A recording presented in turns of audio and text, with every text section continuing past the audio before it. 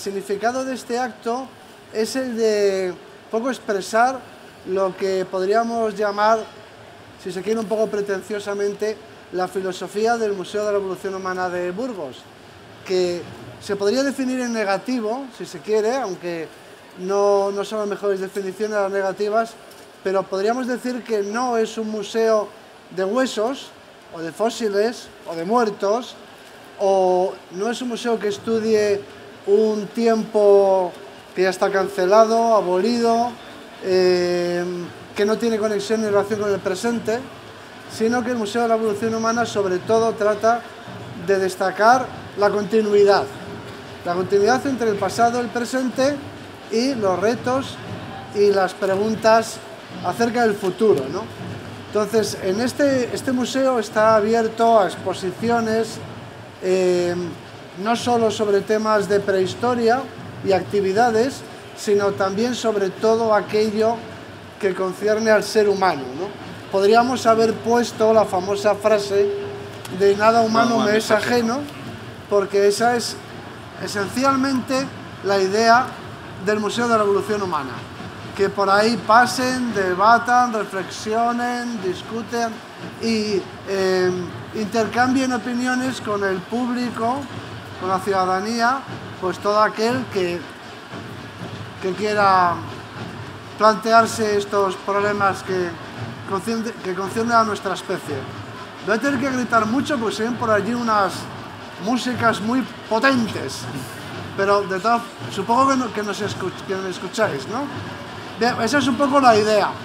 Aquí en el stand de, de Museo de la Evolución Humana presentamos algunos descubrimientos científicos de los cuales espero que haya también la oportunidad de hablar. Pero, sobre todo, lo que queremos es dialogar acerca de orígenes, la fascinación de los orígenes, los mitos de los orígenes,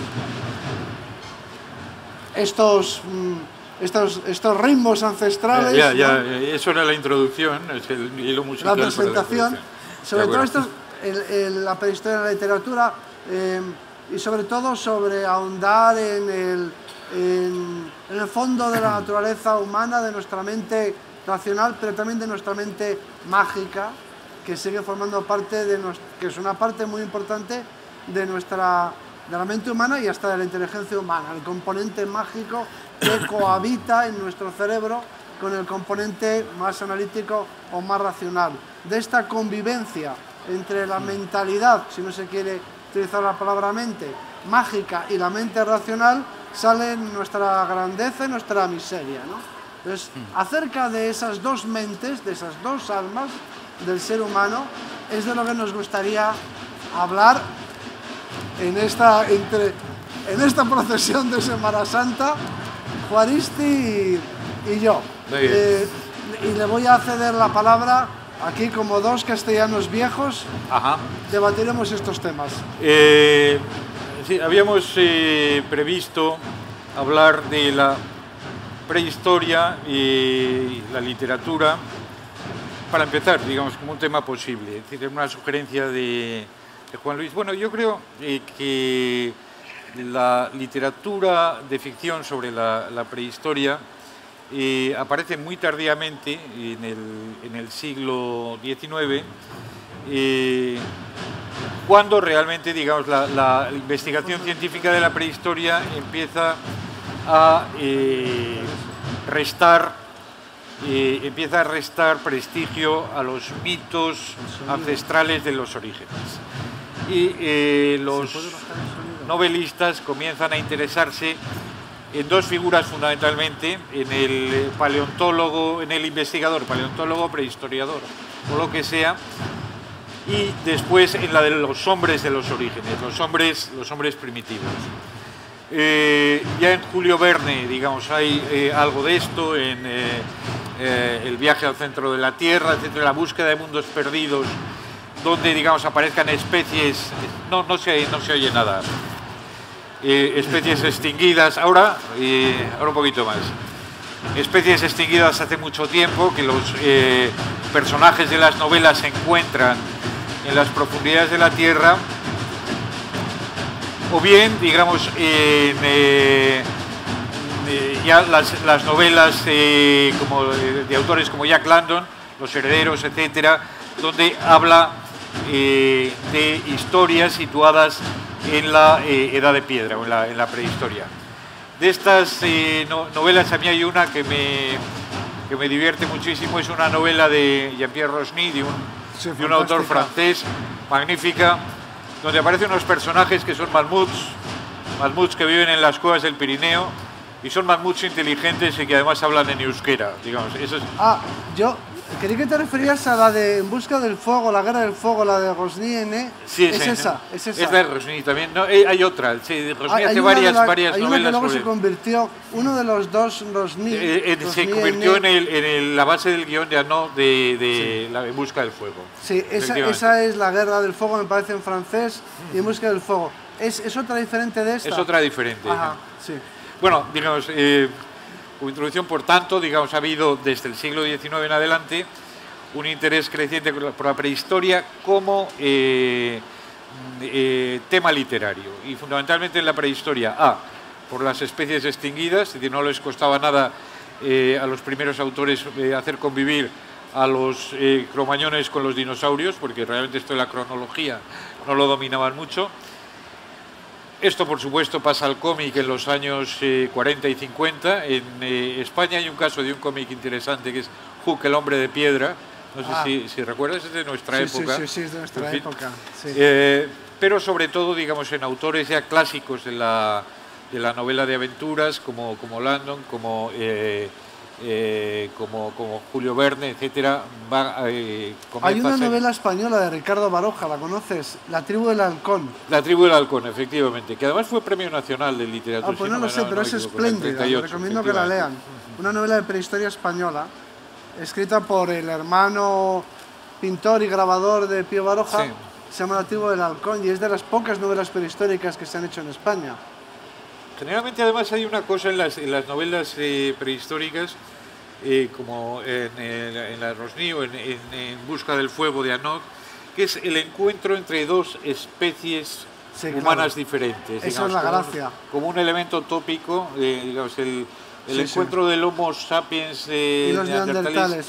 Y los, los, neandertales. Esa es la historia que esa es una historia que es un filón para la ficción porque ejerce una fascinación sobre todo el mundo que, merece un análisis, una pensada, como se dice ahora. A mí me sucede que vaya a donde vaya a dar una conferencia y hable de lo que hable. Eh, si, por ejemplo, hablo sobre el ADN, supongamos, que no tiene nada que ver, o sobre los ecosistemas africanos, o sobre los australopitecos, primeros homínidos.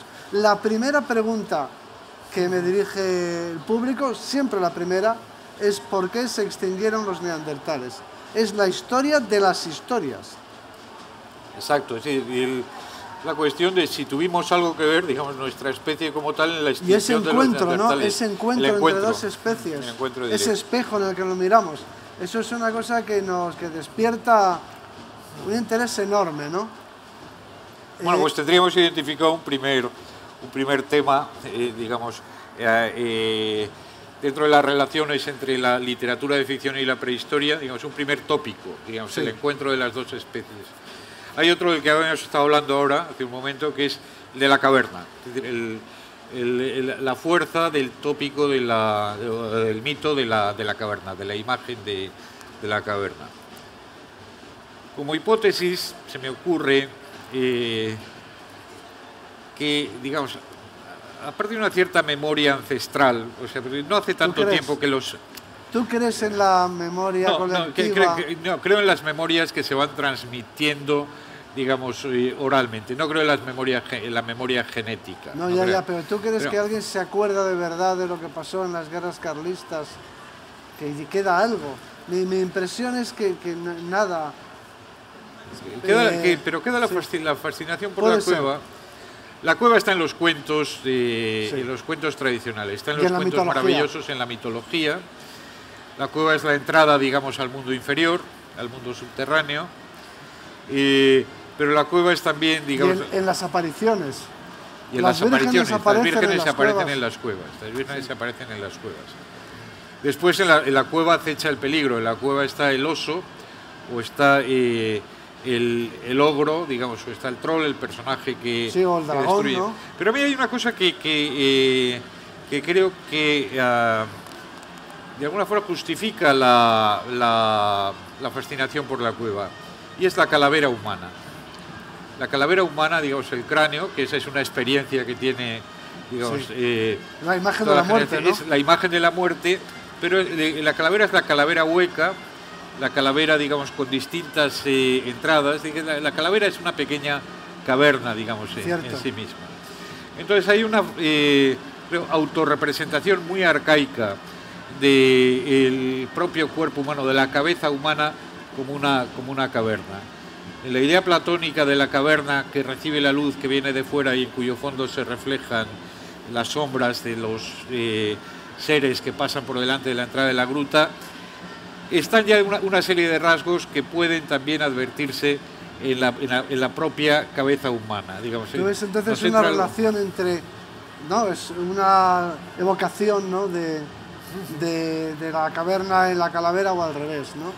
Sí, sí, sí. Bueno, pues, son, eh, efectivamente, podría haber una ecuación perfecta con un paso y una cosa Algunos otra también han directamente. relacionado. Por el- cierto, en Peter Pan, la cueva de los piratas es la cueva de la calavera. O sea, no sé si, Sí, sí. si recuerdas, en, el- en la película de Walt Disney, la, la cueva tiene una forma de, de calavera. O sea, de alguna forma, digamos, Sí, el- la mente está dentro de una caverna. de una ¿no? caverna.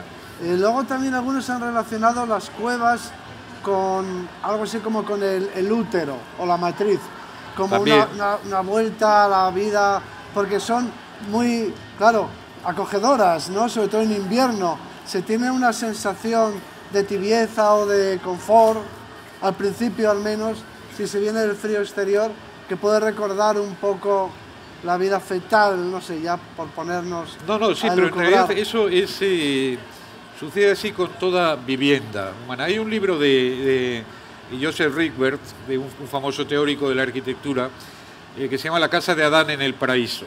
Entonces, él eh, se plantea, digamos, cómo reconstruir los grandes rasgos de lo que sería una primera vivienda arquetípica humana y siempre la, está relacionada, por supuesto, eh, con el útero, está relacionada con, la, con, la- con el útero social, digamos, porque tú eh, de esto lo sabes todo, de, de la evolución.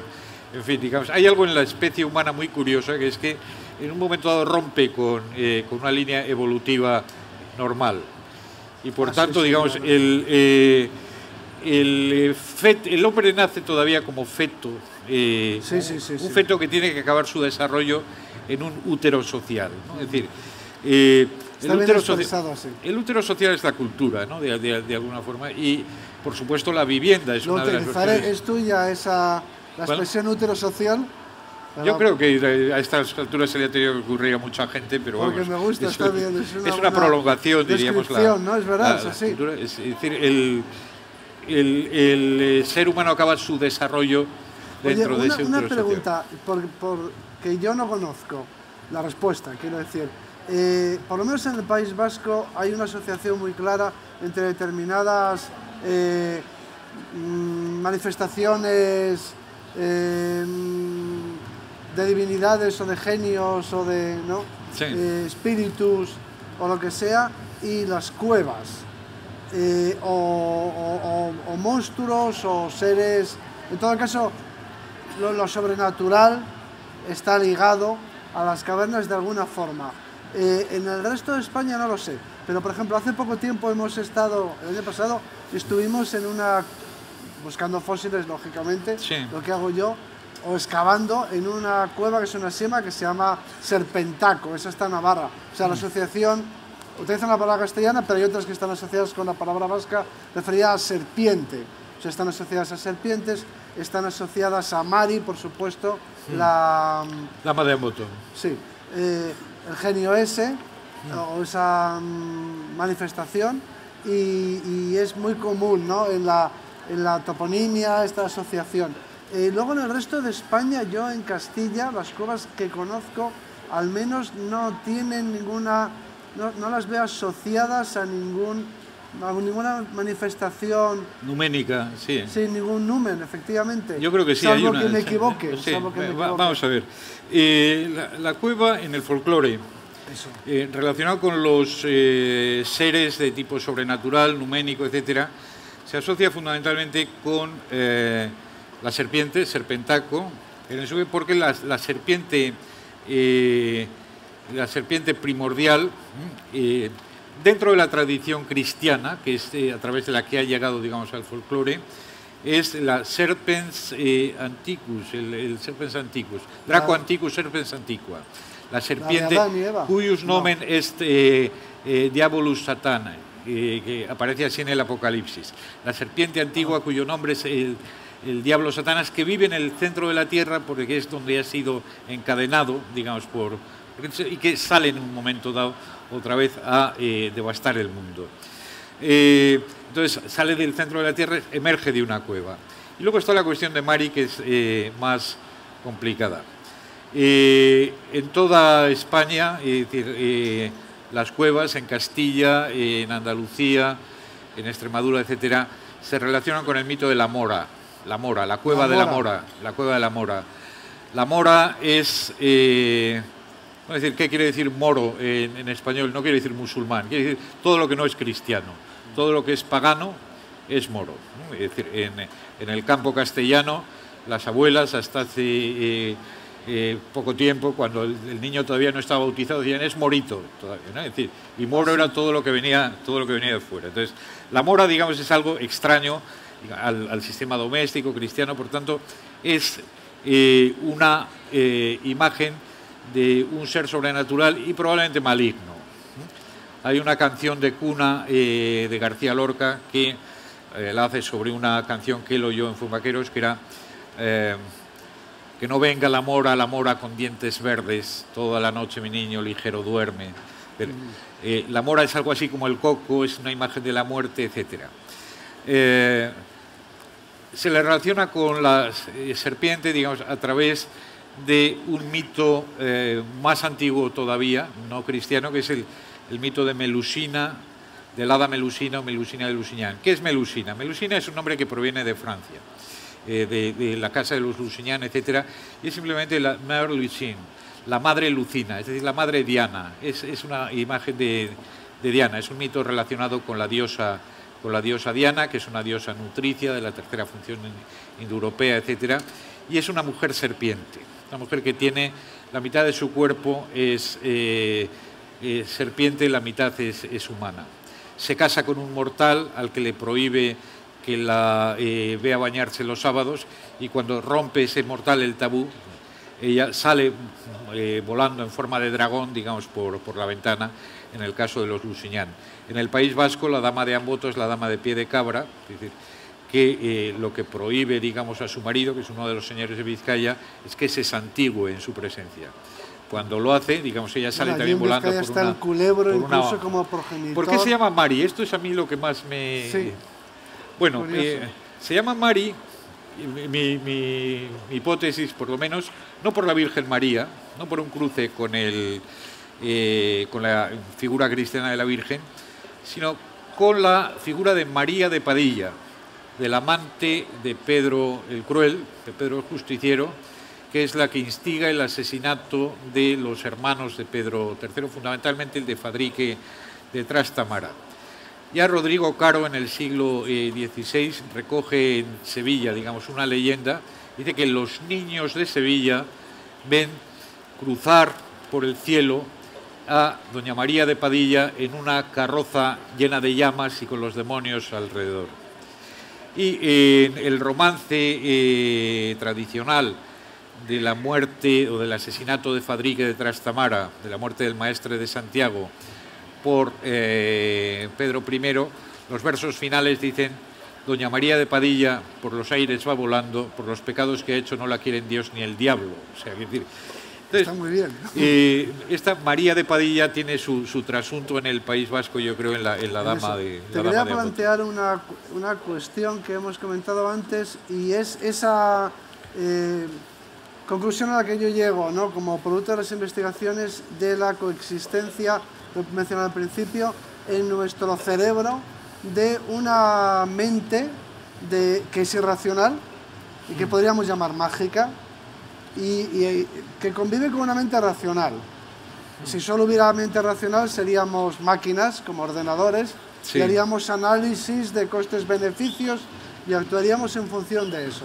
Pero luego tenemos una mente que es absolutamente irracional y que comete y que, hace actos absurdos, a veces de sacrificio personal y gran altruismo, eh, que están fuera de todo cálculo, por decirlo de alguna forma, y otras veces atroces. Eh, me ha llamado siempre la atención de que cuando se describe en los medios de comunicación o un político, por ejemplo, se refiere a un atentado terrorista o a un, crimen monstruoso, pero de, carácter político, mm. se suele decir que es eh, bestial, brutal o inhumano, cuando en realidad los animales no pueden ser fanáticos. De manera que el fanatismo es exclusivamente humano. Es los, los crímenes, que se, las atrocidades que se llevan a cabo por fanatismo son la quintesencia de lo humano, o al menos de la mente mágica, de la parte de la mente mágica del ser humano. A donde quería ir a parar es, incluso en estos tiempos más o menos descreídos en los que vivimos, reaparecen unos seres mágicos, o al menos sobrenaturales, o eh, que se parecen a los héroes, a los semidioses griegos, no sé si llegan a ser dioses, pero al mm. menos semidioses, que son los superhéroes.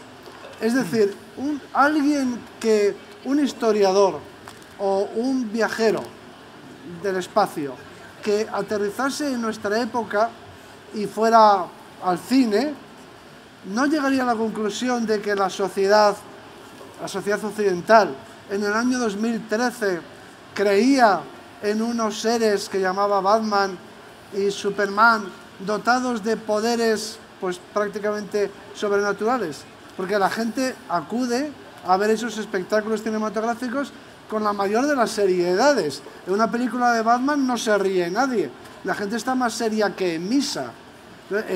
la forma está, en la, está, en la, caverna platónica, ¿no? Es la forma en la que la, gente, la caverna platónica. Tú imagínate que eres un extraterrestre y aterrizas en un cine y en ese cine ponen una de Batman y ves a la gente callada, en, el más respetuoso silencio, viendo las epifanías y manifestaciones del poder de Batman y cómo Batman finalmente salva a la humanidad, eh, y, porque es un benefactor de la humanidad, y, eh, y destruye, aunque no completamente, pero no termina de liquidar, a los enemigos del ser humano. ¿No llegarías a la conclusión de que esa sociedad eh, adora al dios Batman? Sí, podría encontrarse, digamos, efectivamente con un panteón de eh, dioses, diosecillos, semidioses dotados de poderes sobrenaturales eh, a los que se rinde culto, digamos, en los cines y que tienen también su literatura sagrada, digamos, sus cómics, etc. Lo curioso es que este panteón incorpora restos de las antiguas mitologías periclitadas. Es decir, eh, está claro que eh, en Batman detrás está la figura diabólica del eh, demonio con alas de murciélago que aparece en toda la iconografía medieval y que es de origen asiático, que es de origen asiático, el de Batman es un poco terrorífico. Sí, sí, porque es muy curioso. Pero es bueno, sin embargo. A mí, estando en la Biblioteca Nacional, el director de la Biblioteca Nacional iraní, musulmán, eh, vino a hacer una, visita a la biblioteca, entonces le enseñamos eh, la sección de grabados, que en la Biblioteca Nacional es muy rica, y le enseñamos, digamos, un grabado de, Satán, un grabado de Satán del siglo XVIII, XVII-XVIII, un agua fuerte con, con, un Satán horrible, con alas de murciélago, etc. Y me dijo, ¿quién es este? Y le dije, pues, Satán. Entonces me dijo, pero Satán es un ángel bellísimo, no tiene nada que ver con, con esto. Y efectivamente, digamos, en la tradición plástica persa, lo que se ha mantenido es esta figura, digamos, del Satán, ángel de la luz. O sea, el Satán, que es obviamente, digamos, un ángel maligno, pero, pero bellísimo. Bien, eh, el Satán que aparece, digamos, en las eh, imágenes medievales, con alas de murciélago, pinta de murciélago, viene de unos dioses menores de la India, digamos, a través de la iconografía eh, asiática que llega a Europa en la, en la Edad Media. De ahí sale Batman. Batman, digamos, que es un héroe positivo, en el sentido de que trabaja por la justicia, pero que siempre aparece como héroe oscuro o héroe malvado en las, películas. digamos, es un falso malhechor que al final acaba manifestándose como, digamos, eh, una especie de diosecillo benéfico, pero vive oculto, vive en las profundidades de su cueva, rodeado de, murciélagos y rodeado de artefactos que parecen murciélagos. Y después, obviamente, digamos, ya hay Superman es más, eh, digamos, la imagen crística. Tú tenías ahí una teoría muy No, no, Superman, el, nombre de Superman es eh, Joel, hijo de Karel, eh, tanto en el nombre del padre de Superman como en, él mismo. Es el padre que envía a su hijo a la Tierra. Es decir, para ponerlo a salvo de la destrucción de su mundo, de Krypton, pero de todas formas, digamos, es el, eh, eh, el padre o la pareja divina de, de, Karel y su, su, esposo los que mandan a, Superman a la Tierra como el padre envía al hijo, digamos, a, redimir, el, a redimir el mundo. Eh, y lleva una vida oculta, por otra parte, digamos, durante su, su infancia y su niñez vive con los señores Kent, que no son sus padres, sino sus padres se putativos. a la vida en Nazaret, ¿no? De... Con la vida de Nazaret, efectivamente. Antes de su manifestación ya en Metrópolis, en la, en la ciudad, que es como Jerusalén. que hay un paralelo ahí con el cristianismo. Sí, sí. Pero, eh, digamos, ya en los, los, superhéroes más recientes de la, eh, de, de, la Marvel, digamos, ya están tomados algunos directamente de las mitologías, pero Thor, ya, con su martillo es directamente el dios Thor, el dios del. Oye, y, esa, eh, volviendo a lo de la mente mágica eh, y la mente racional, eh, parece que es inevitable crear o que necesitamos crear em, mitologías o, seres legendarios.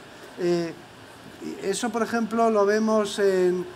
o sagas, más bien, en mundos, en mundos míticos aceptamos mitos, en pocas palabras. Eh, antes comentábamos que eh, tenemos a Tolkien con El Señor de los Anillos, que es una, aunque, de sabor medieval, no deja de ser una mitología, eh, o, más que una historia mítica, ¿no? Una historia mítica. Una historia mítica que tiene un enorme éxito. Y, comentábamos Juego de Tronos, que a mí, que, que yo sigo, porque es una historia clásica casi homérica de señores de la guerra eh, que luchan entre sí, mujeres manipuladoras, exactamente igual que la Ilíada. Tiene, mucho que ver con Tolkien, de todas formas, Juego de Tronos en la distribución de, de, los espacios. Son reinos distintos. Pero estamos creando entonces una historia mítica. Ahora, ahora que, que la historia se ha vuelto tan científica, la verdadera historia, y ya decimos que Don Pelayo pues seguramente no existió, y o, no, o no derrotó a los moros en en Covadonga. O sea, ahora que hemos desmitificado al Cid, nos inventamos unos seres míticos que eso sí que han hecho de todo y nadie, y nadie cuestiona, ¿no? Y además que tienen una característica, las, las últimas historias míticas me gustan a mí más que las de Tolkien en Juego de Tronos, porque en Juego de Tronos no, no es tan maniquea, me parece a mí. Son eh, más atractivos los personajes porque no son en general... Son más ambiguos, son muy... Mismo, ¿no? sí. Mientras que las historias míticas suelen ser más... Bueno, es que eh, Tolkien, Tolkien, era un eh, anglocatólico, un cristiano convencido, un, anglicano. Él y todo su grupo. O sea, Tolkien era muy amigo de Clay Lewis. Claro. y, los Inklings, ¿no? este grupo de, de, de profesores de Oxford eh, muy cristianos que al mismo tiempo, digamos, que se dedicaban a la literatura medieval, eh, también eh, escribían sermones, sermones laicos y libros de espiritualidad, y para los que, por supuesto, digamos, el mundo estaba dividido en fuerzas del bien y, fuerzas, y fuerzas, fuerzas del mal. Claramente en El Señor de los Anillos, Sauron es el mundo infernal, el de los orcos, es el es el maniqueísmo, digamos, llevado, llevado un poco al, al extremo. En la Ilíada, sin embargo, no está tan claro. No, porque en la Ilíada, en la Ilíada ni los dioses son buenos siquiera. Es decir, los, eh, la única distinción que hay es entre los mortales y los inmortales. Pero los mortales, por muy buenos que sean, jamás llegarán a ser inmortales. Y por tanto, el destino eh, de los héroes de la Ilíada es trágico. En Juego de Tronos hay algo de esto, digamos, hay una recuperación de la tragicidad, o sea, del sino, el destino inexorable ante el cual digamos, los hombres no pueden hacer nada. Estábamos comentando que el último episodio que, yo había visto por lo menos y creo que tú también, es la matanza de los miembros de la familia Stark en unas bodas a las que se les ha invitado, digamos. Bueno, esto en la Edad Media, digamos. Sí, como la campana de Huesca, una Como la campana de Huesca, como la campana de Huesca. Incluso, digamos, en las, eh, las historias medievales de las guerras de, bandos. Eh, oh, sí, los abencerrajes. Los abencerrajes, sí, sí. Lo mismo, ¿Eh? la Alhambra.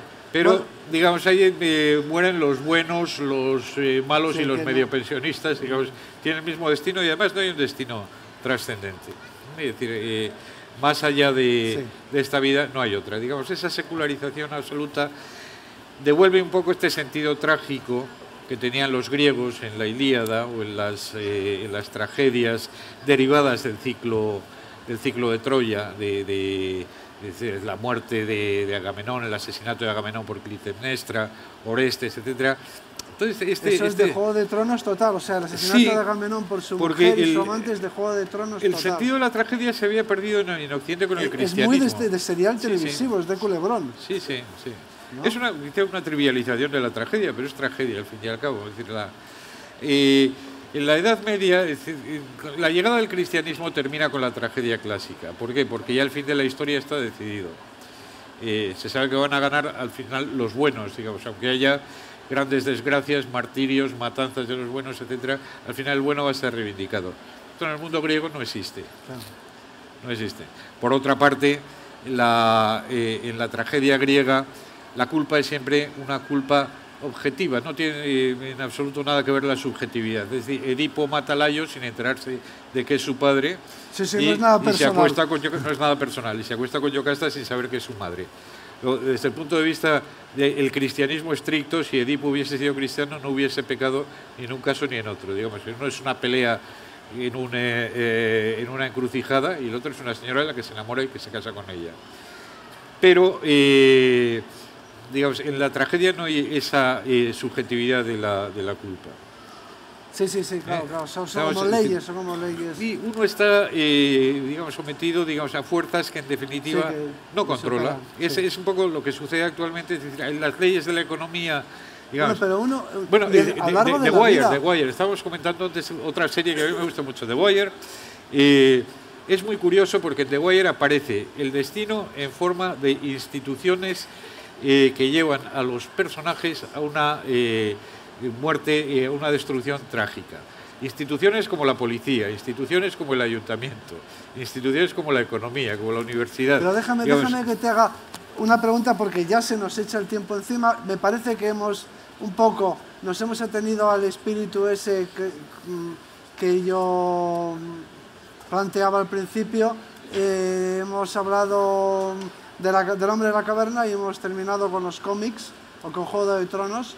Y ahora me gustaría pasaros la palabra, la palabra a vosotros para que hicierais, en este caso no una pregunta, eh, generalmente se pide al público que pregunte, ¿no? Aquí os pedimos que os expreséis, que digáis lo que os parezca y ya está, y lo compartimos. Yo quería hacer una última pregunta, John, al hilo que estamos comentando. Pero tú no tienes la impresión de que en el curso de tu vida, o de la mía, o de la mía, la mayor parte de las cosas que nos han ocurrido se deben a acontecimientos, llámale fuerzas o casualidades que no controlamos. O sea, ¿qué porcentaje de tu vida has controlado tú? O sea, si tuviésemos que cuantificar de, tu trayectoria vital, de lo que te ha ocurrido, empezando por donde naciste, y el ambiente en el que te criaste, y lo que te ocurrió después, las cosas que te han pasado en la vida, ¿qué porcentaje de un 100% dirías que has controlado? Un filósofo, un estoico diría que he controlado la manera en la que yo... Controla mi libertad interior. Ah, la, forma en la que yo acepto los acontecimientos de la vida y los, y, y, los sufro con dignidad, si quieres, ¿no? O sea, lo único que controlas es tu actitud frente a los acontecimientos, tu manera de vivirlos, pero los acontecimientos no. Entonces, ¿tú qué porcentaje de tu vida, una pregunta personal para acabar, qué porcentaje de tu vida, de lo que te ha pasado en la vida, crees que, que ha estado bajo tu control? Hombre, no sabría cuantificarlo, pero yo creo que, eh, todo lo que han sido decisiones y decisiones personales sí las he controlado, en el sentido que he podido optar entre cosas distintas. Eh, lo que no controlas obviamente son las consecuencias de esas, de esas decisiones. Eh, los antiguos creían, los antiguos precristianos diríamos, que no creían en la providencia, por tanto, los estoicos empiezan a introducir algo, algo parecido a la providencia, pero decían que todo en el mundo es el resultado de dos fuerzas distintas. Eh, el azar y la necesidad. Eh, lo que ocurre de una forma azarosa, inexplicable y aquello que puedes explicar como una concatenación de, causas. Efectivamente, es decir, eh, en las escuelas aristotélicas, digamos, estoicos como epicúreos son las que se, discute esto. Eh, sí, yo, Pero a ver, a nivel personal, como yo, Juan, tú, de lo que te ha pasado en la vida, de verdad piensas que has controlado mucho. Yo creo que he controlado poco. Sea, que la mayor parte de las cosas que me han ocurrido, no ya de desgracias que te pueden pasar, que se te muere. Claro, eso ahí es evidente que tú no has controlado nada. Tienes una desgracia familiar, o yo que sé, un desengaño amoroso, tu control es pequeño. Podemos, obviamente, yo creo que he seguido una carrera científica por decisión propia. ¿eh? Ahí creo que solo he controlado. Pero luego, si no me hubieran dado una beca cuando empecé, no habría hecho la tesis. Seguramente no, sería profesor ahora. Aunque yo tenía vocación, pero igual no habría podido. O sea, ¿realmente qué controlamos de nuestra vida? Creo que es difícilmente cuantificable. Pero creo... eres mucho poco regular. ¿no? yo creo que poco, poco, poco. Controlamos poco. Controlamos poco.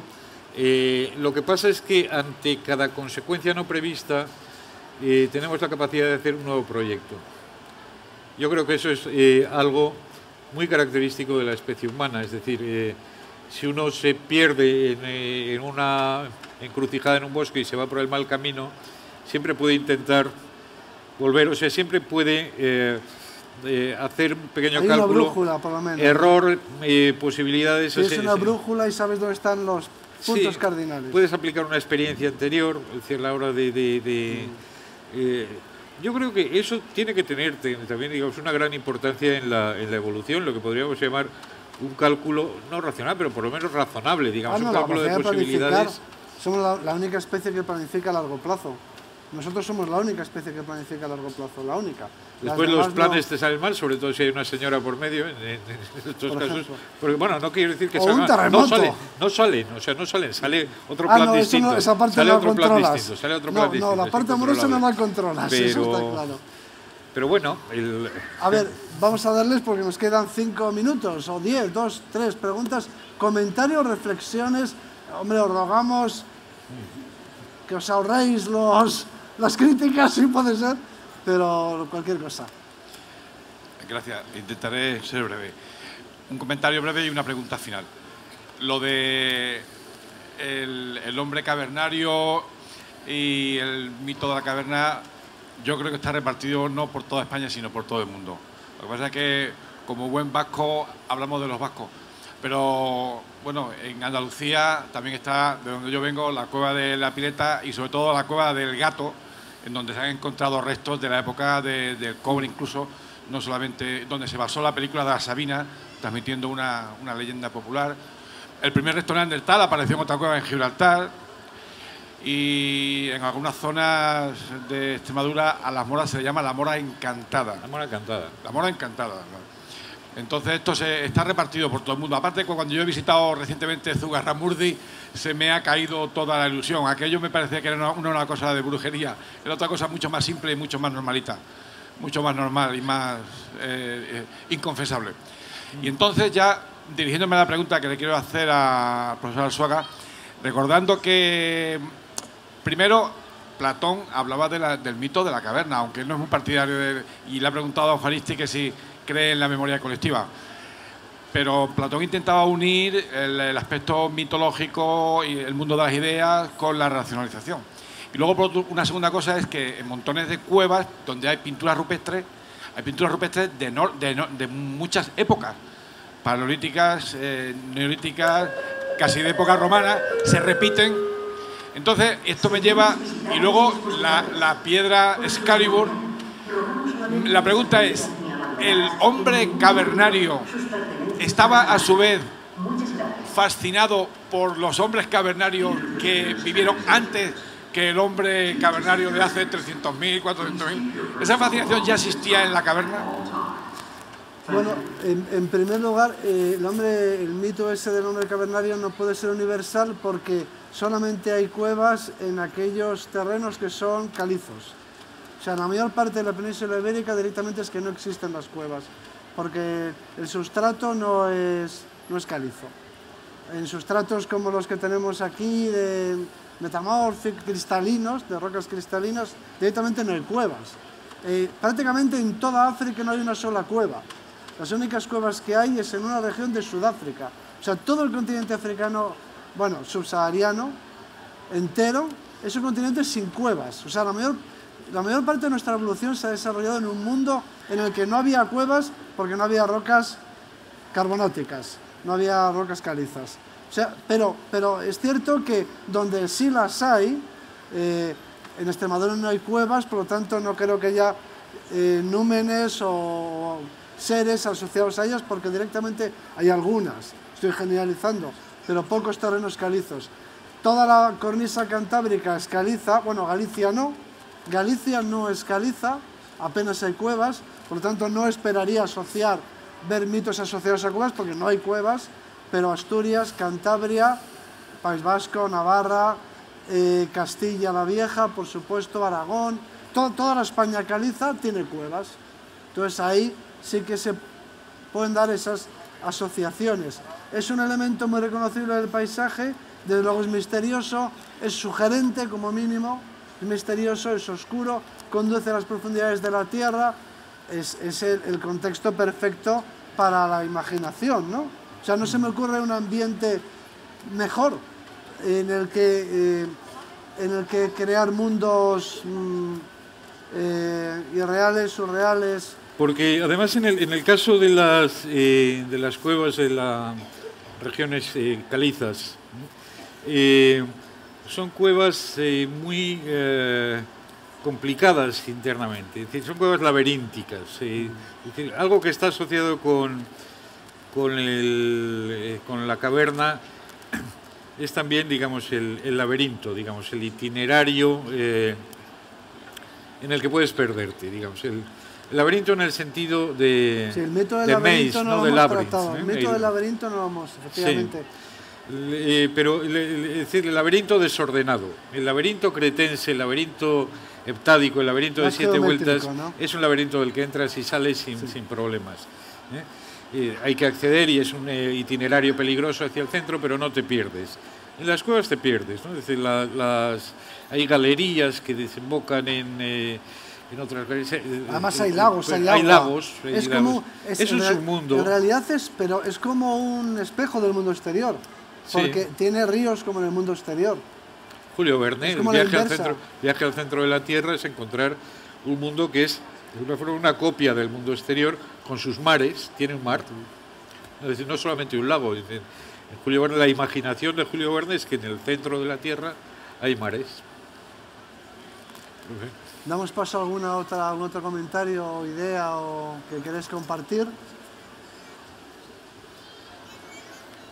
Pues con esto y un bizcocho. Pues, a ver, sí, aquí, aquí nos quiere comentar algo. Buenos días y muchísimas gracias por el eh, el debate ha sido entretenidísimo y para mí sorpresivo porque en realidad no venía ni a ver a Juan Luis Arzuaga ni a ver a John Juaristi.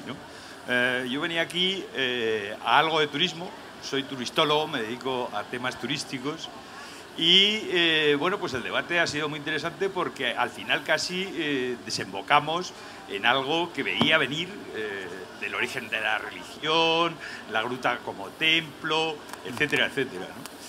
Pero yo cuando eh, he visto a Juan Luis eh, en el primer momento, eh, digo, bueno, va igual nos habla de ese cazadero que hace poco leí que había en Ambrona, o de ese proyecto que desde hace cierto tiempo venimos oyendo, que nos parece a muchos muy interesante, sobre el paleolítico vivo y reintroducción de las especies, etcétera, etcétera. Y bueno, pues simplemente agradeceros el debate, que ha sido muy divertido, muy interesante. Hombre, por mucha, todo lo que sea sorprender está bien de entrada, ¿no? Eh, pero claro, en el stand de Castilla y León ahí tenemos los huesos, el ADN, todo lo que un poco conforma la imagen que se tiene de la prehistoria del museo. La prehistoria efectivamente es eso, pero eh, no es una cápsula del tiempo, eso es lo que intentamos explicar. La prehistoria no es una cosa que está cerrada, como una burbuja en el tiempo, sin conexión con el presente. O sea, la idea básica es la de continuidad. Nosotros tenemos una, una historia y esa historia eh, es una cadena continua y no se entiende el presente sin el pasado y no se puede no plantear el futuro tampoco. Entonces, la, expresión de eso es el tipo de debates que, y, de actividades que, que, tenemos, estamos programando para el Museo de la Evolución Humana, donde eh, bueno, pues queremos que se produzca eso que llaman los pedantes el espectáculo de la cultura, ¿no? Bueno, espectáculo de inteligencia. O sea, que el museo no solamente sea un lugar, un museo en el que se visitan unas exposiciones temporales o permanentes, sino que sea un centro de discusión, de debate, un centro de cultura o de humanidades o de humanismo, ¿no? Humanismo científico, como se le quiera llamar. Y si hemos conseguido sorprender, eh, hablando de cómics, en lugar de hablar de huesos, que por otro lado están en el stand, explicados, pues yo creo que hemos conseguido nuestro... Por lo menos hemos pasado el rato, que es de lo que se trataba. Pues nada más, eh, solamente falta invitaros a todos a que acudáis al Museo de la Evolución Humana de Burgos, eh, no os decepcionará. Eh, aparte, que, que, vayáis más de una vez, si podéis, porque hacemos muchas actividades para adultos, para niños y más que haremos.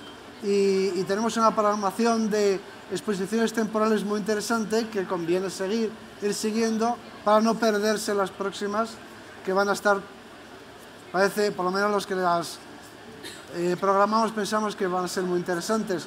Y actividades en relación con la taporca en el campo, en los yacimientos que se deben visitar, espléndida gastronomía en una feria de turismo no se puede pasar por alto, otros proyectos que hay muy interesantes de eh, recreación del mundo de la prehistoria también en, eh, en los ecosistemas, con, con, las faunas prehistóricas y en los ambientes eh, originales y muchas más actividades que planeamos. Así que no dejéis de pasaros y los que no habéis estado, como decíamos en una campaña que hicimos, es, me parece a mí que es vuestra experiencia pendiente, ¿no? Y, y creo que no os decepcionará. Y yo por mi parte agradecerle a John que se haya bueno, dejado atracar de esta manera no. y que me ha acompañado hoy. Y ahora voy a intentar continuar con el abuso llevándolo al Museo de la Evolución Humana de Burgos cuando pueda. Muy bien, muchas gracias.